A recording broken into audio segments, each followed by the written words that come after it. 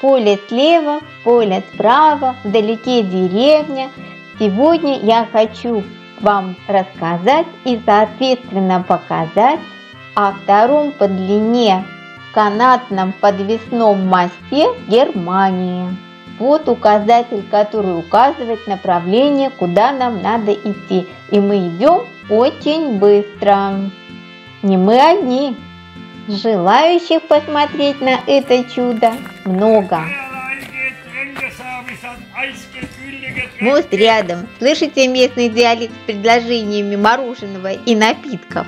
Впрочем, вы уже сами видите его. В буклете мост описывается следующим образом, что построен он по прототипу непальских подвесных канатных мостов, является своего рода впечатляющим аттракционом, и вы должны быть несколько смелы, прежде чем ступиться на него.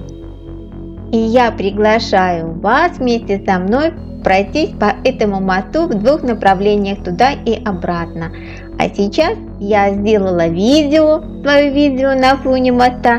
Не знаю, удачно, неудачно, но как получилось, мой муж идти со мной отказался. Он лишь сопроводил меня до моста. Я могу вам рассказать о своих ощущениях. Мост раскачивается. И вначале это непривычно, но постепенно к движению моста приноравливаешься – и страха в принципе никаких нет. Скажу честно, страх у меня был только один – выронить телефон из рук. Это было бы полная катастрофа, и с телефоном можно было бы попрощаться навсегда. Кроме этого страха никакого другого я не испытала. Идешь по мосту, Смотришь окрестности справа, слева, ветер шумит в ушах, люди встречаются, кое-как расходимся и так дальше. Да, и я хочу еще вам рассказать об этом уникальном творении рук человеческих, которое по опросам немецкого комитета по туризму вошло в топ сотню главных достопримечательностей Германии. Официальное название моста Хенгельс Айльбрюке – Гайрлей. Можно сокращенно Гайрлей. Находится этот мост в регионе Хунцрюк, в земле Рейнланд-Пальц, земле, в которой я живу. Он соединяет между собой два района – Мёрздов и Сосберг, пересекает долину – которой течет небольшая речушка, впадающая в Мозель. Длина моста составляет 360 метров и находится он приблизительно на 100 метровой высоте.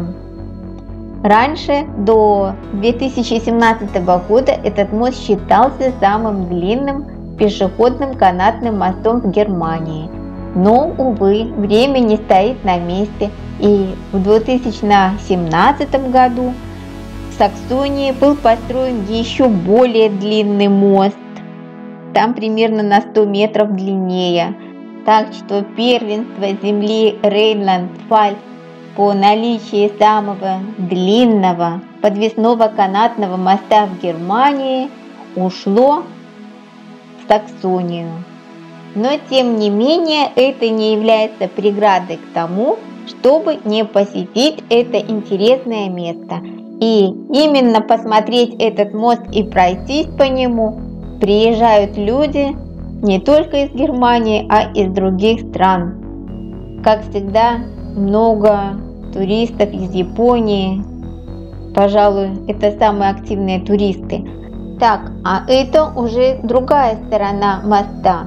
Так он выглядит с этой противоположной стороны. Что там есть? Там тоже можно купить воду, напитки, съесть мороженое, посидеть на лавочке, отдохнуть, сделать фотографии и отправиться в обратный путь. Есть, конечно, еще дорога, ведущая среди полей в соседнюю деревню Сосберг. И говорят, что там тоже есть какая-то кафешка, где можно посидеть. Но я же отправляюсь в обратный путь. Пока мы идем на другую сторону, где меня ожидает муж, я расскажу вам еще кое-что о строительстве этого моста. Идея его постройки возникла еще в 2006 году, но она была отвергнута, так как посчиталось, что эта затея нереализуема. Тем не менее, три активных человека из деревни Мёрсдорф, один из которых впоследствии стал мэром, усиленно продвигали эту идею дальше и в конце концов в гордости местных жителей в 2015 году в мае месяце строительство началось, а в октябре оно закончилось. И я думаю, эта идея была просто прекрасна, потому что этот мост привлек большое количество туристов в этот регион. И, как вы понимаете, с этим многое связано. В центре деревни Мёрсдорф находится туристический центр, находится большая платная парковка, ресторан. Есть все необходимое для туристов. Можно арендовать номер, переночевать. От деревни ведет дорога.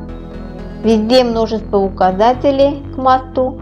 Кроме моста можно еще путешествовать внизу в долине. Там тоже очень живописно. И, пожалуй, самое главное, что вход на мост бесплатен. Можно ходить зад и вперед сколько хочется. От себя могу добавить, что самые тяжелые участки – это начало и конец. Конец, когда ты поднимаешься в гору, в центре моста, где он провисает, он более пологий, а там уже нужно потрудиться. Когда проходишь этот мост туда и обратно, появляется восхитительное чувство, что да, ты это сделал, был видел, совершил. На этом мое видео подходит к концу. Что знала, рассказала, что могла, показала. Желаю вам всего самого наилучшего и до следующих видео.